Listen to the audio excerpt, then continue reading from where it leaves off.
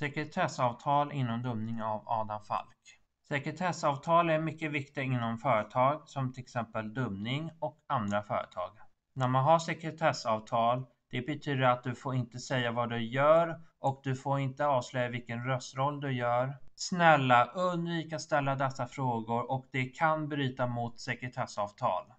Dessa frågor ska du undvika när du möter en dubbare. Nummer 1. Vilka är din nästa film eller tv-serie som du ska dubba? Nummer två. Vilka är din nästa projekt inom film eller tv-serier? Nummer tre. När ska du göra rösten till den figuren? Nummer fyra. Kan du berätta vilken rollfigur som du dubbar? Tänk efter när ni frågar till en dubbare eller röstskådespelare.